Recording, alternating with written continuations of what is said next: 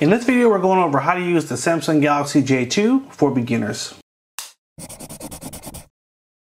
Hey everyone, thank you for joining us today.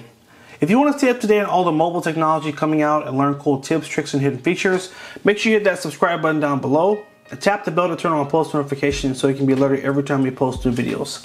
Today we're doing a beginner's tutorial on the Samsung Galaxy J2. We're going to walk you through how to use this phone if you're a first time smartphone user. Let's go ahead and jump right in. So the first thing, we always start with the buttons. So on the right side of the phone you will find a power button which is a power slash standby button. So just by tapping the button we'll wake up the screen. Tapping it again will turn the phone off. If you do hold down the button, it will take you to a power screen if you hold it for a few seconds. On the left side of the phone, you will find your volume up and volume down buttons to quickly uh, raise and lower your volume. The bottom of the phone, you will find your charging port to plug in the power cable. It's a micro USB charger it takes and you will find a headphone jack at the bottom to plug in your auxiliary headphones. And then to put a memory card in the phone, you will need to pop the phone back off right on the corner here. Just take your fingernail. You can insert a memory card right here if you're trying to expand to more storage. Okay, so hit that power standby button to wake up the phone and to actually unlock the phone, you're going to just swipe up the screen. So take your finger, put it on the screen, and just drag it straight up. And that's how you unlock. So finger on screen, drag up. Now here you'll find uh, three buttons at the bottom. These are the navigation buttons. They're kind of how you move around the phone. The middle button is going to be your home button. So no matter what you're doing, by tapping that button, it always takes you back to this screen, which is considered your home screen. If I were to go to uh, Google Chrome, which is your web browser, and I wanted to look up an article or news or whatever, this is where I would go. And if I wanted to get back to that main screen, I'm just going to tap on that square and that's going to take me back to the home screen. So no matter what you're doing, that's going to always take you right back to home.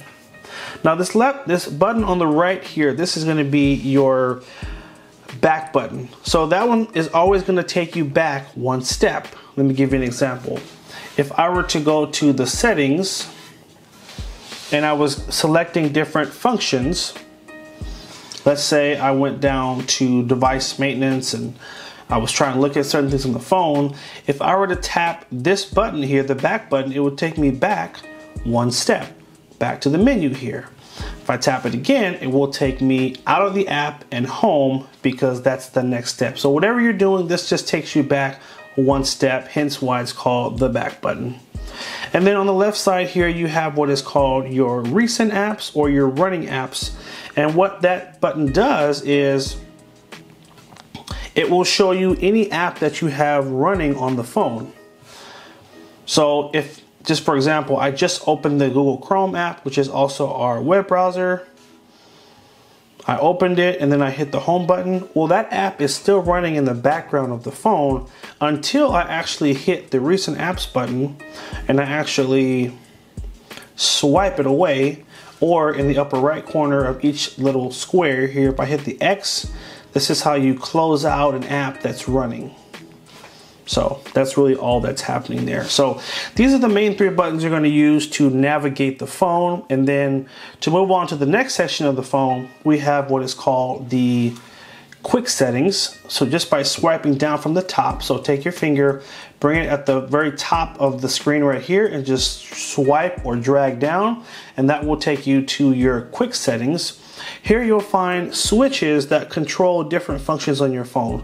These are just shortcuts to functions that you would use frequently. So to give you an example, um, here is the Wi-Fi shortcut.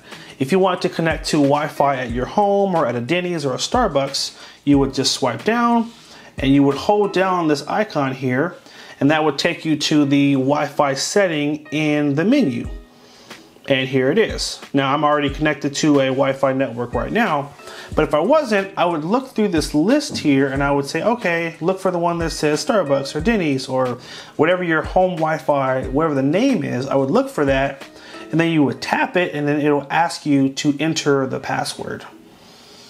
and take me to this is a little keyboard shortcut but this is the screen the main screen you would see. You would just tap on this section here. Your keyboard would come up and you could type in your password that would connect you to that Wi-Fi network. So all that accessed from just swiping down and tapping on one of these icons. Now there's two ways to interact with these uh, what are called switches. You can tap it so for example this is my Bluetooth icon if I tap this it turns on the Bluetooth, so then I, it'll begin to search. If you wanted to connect Bluetooth headphones or a speaker or something like that, it will begin to search for you. If I swipe down again, I can tap it. And if you notice, it was blue and now it's grayed out because tapping it turns it on and turns it off. So that's kind of how you use that menu. This is your flashlight. By tapping this, it will use the back flash as a flashlight. And then we have our airplane mode right here. Now, there are more switches. By, by swiping down once, you get the first six switches. And if I swipe down again, it's gonna give me more options. Power saving, mobile hotspot, a secure folder, my GPS, do not disturb. I can then swipe over and then there's two more. So these are all the different quick settings or switches you have access to from the top of the screen here. Now, one more important thing I'm sure many of you are asking are um, this button right here, which is going to be your um, so volume up, vibrate. See, there's a little slash over it, and then tap it again, and now it is on silent. So that's how you put the phone on silent, and it's also how you take it off of silent so you can hear when someone calls you or sends you a text message. It'll make a noise. Now in the uh, upper right corner, you have this little uh, wheel. This is a shortcut to your settings. So by tapping this, it'll take me right to the settings menu. So no matter what, if you ever need to get to settings, swipe down, upper right corner, click on the little wheel, and that'll take you to your settings menu. Now, I just went over what's at the top of this quick settings panel, um, but right below it, you'll have what are called notifications. So any app you have or game on the phone, um, or like an email account or a text message, if someone were to send you something and it comes through the phone, it'll show up in this list here. So we only have one thing, one notification right now, but as you begin to add your, again, email and your phone number for text messages and all those things, they'll all show up in this section right here. And all you would do is just tap and it'll take you to that app to read whatever that message is. So that's how you control the different messages that are coming through the phone.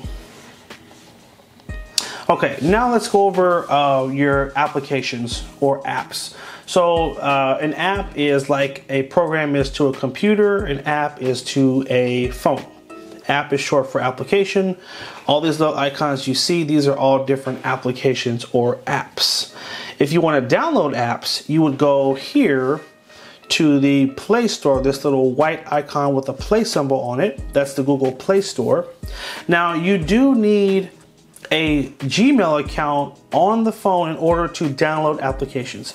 Even if they're free, you still need a Gmail account. So right now it's asking us, hey, you need to sign in. We would tap on sign in and it would take us to this screen. We'd have to then put in a Gmail account. So uh, an email address or a Google account. Now you'll know if you have one. If you don't have one, you'll simply just tap on create account and you can create your own Google account on the spot. We have one, we're gonna go ahead and enter it right now. Once you enter your email, you're gonna hit next. It'll then ask you to put in the password. Once you've entered the password, it'll take you through, you'll hit agree, and then it will take you to the Play Store where you can then begin to download games and applications. You'll just simply hit accept here. And this is the Play Store. This is where you would download, uh, again, games, books, movies, music, you name it. It's all in here. At the bottom of the screen, you'll see it's broken down to categories games, apps, movies and TV, and books. Looking for games, just tap on games. If there's a certain type of game you're looking for, you can always hit the microphone and just say it. Slot machine. So I just said slot machine and it'll give up a list of different slot machine games. Let's say you want to download classic slots, you can just simply tap on here. If this button, this green button says install, this is how you know it is a free app. If there's a price in this little green bar, it means that it's not a free app and you will have to pay for it. So just be aware of what you're downloading so that you don't end up paying for something that maybe you didn't intend to pay for.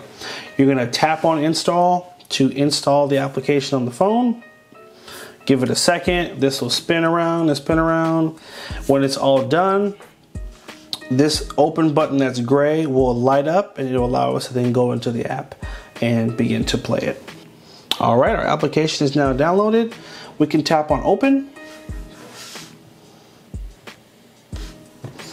And then it will open up and allow us to set up and start playing the slot machine app.